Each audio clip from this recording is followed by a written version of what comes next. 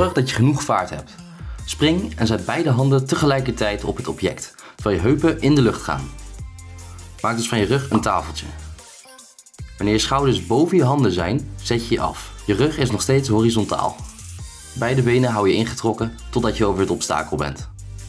Wat je eerst kan oefenen is er een kong opmaken. Daarna ga je oefenen om je heupen meer de lucht in te krijgen, zodat je er makkelijker op kan komen. Als je heupen in de lucht zijn, zet je af naar voren met je armen. Probeer je voeten wat voorbij je handen te krijgen en als dat allemaal lukt, dan kan je er ook overheen.